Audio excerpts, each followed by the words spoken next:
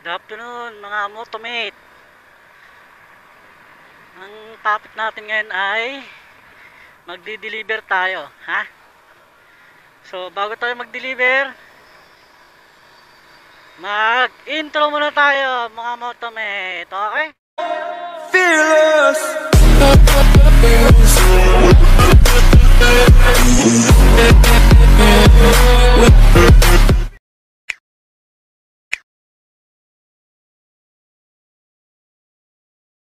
afternoon ulit. Sideline muna tayo habang nagmumotor, habang ano pa, habang quarantine. Sideline muna tayo habang wala pang pasok. So, ang gagawin natin, deliver ng mangpakpak. Ito ay business ng ano, ng bunso namin kapatid. So, ako muna yung tumutulong sa kanya kasi medyo kakasimula pa lang nung business niya. So, ako yung nagdi-deliver. Small amount lang naman yung ano na ito, pero okay na rin. At least nakakatulong din panggastos sa araw-araw. Saka, alam mo naman, pag naka, pag talagang nagmumotor ka talaga, eh, mamimiss mo talaga magmotor kahit medyo yung gala-gala lang. So ngayon pupunta tayo sa Antipolo. Deliver natin sa customer. Maliit lang naman yung delivery fee, o okay lang. So. Yung mga ano pa rin mga ano, mga motormate. May mga checkpoint pa rin dito. Yung ibang mga daan dito sarado pa rin kaya medyo secured pa rin yung bununsod ng Antipolo kaya safe na safe.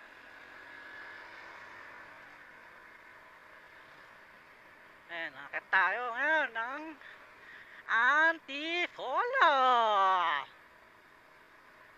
Nakami sa ano eh, sa pag ano eh, sa pag bumotor eh. Yung gagala ka lang. Ito naman sa akin, kumagala ka na, kumikita pa. Parang bayad lang sa ano mo, sa lakad mo yung delivery fee. Marami ka pang napupuntahan, marami ka pa nakikitang mga tao. Tsaka ang masarap dito yung sabi ko nga nakagala ka. Tsaka da, natagal na akong taga ano ha. Tagal na akong na nakatira sa Antipolo pero yung ibang lugar dito di ko pa kabisado. Ngayon ko lang nalalaman sa pagdi-deliver ko yung mga shortcut-shortcut dito. Kaya okay din. Explore ang Antipolo.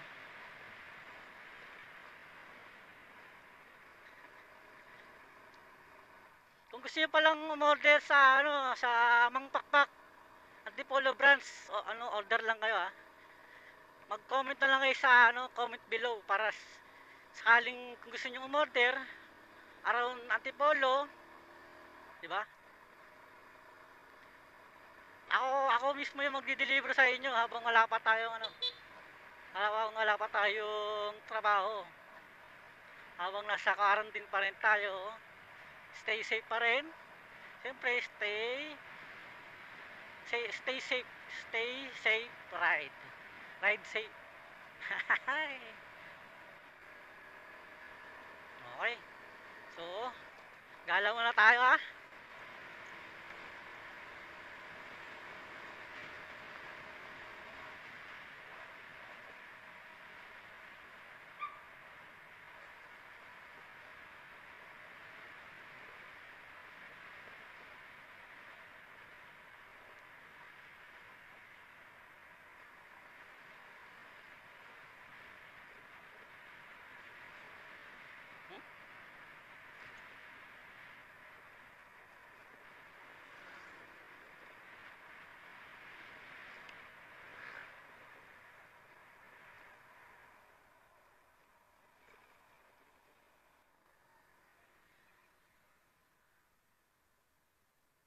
Sa- Sila delivery lang. Sa ano?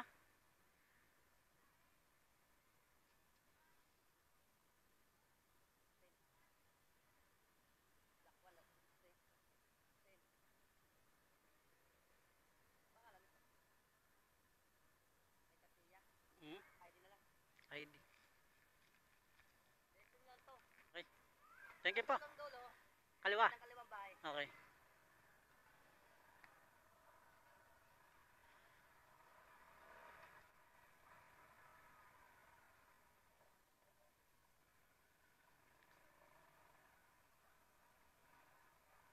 Okay guys, nandito na tayo sa lugar nung pagde-deliver natin.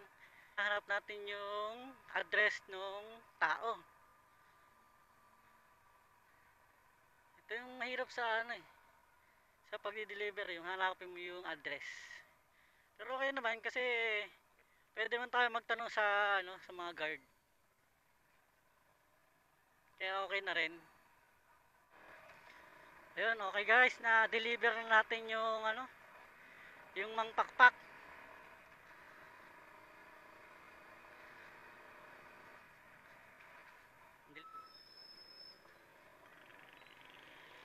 Okay guys, pabalik na tayo mga ano ha, mga motomate.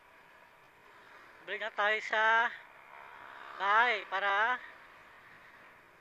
mag-pick up ulit ng delivery. O kaya maghintay doon.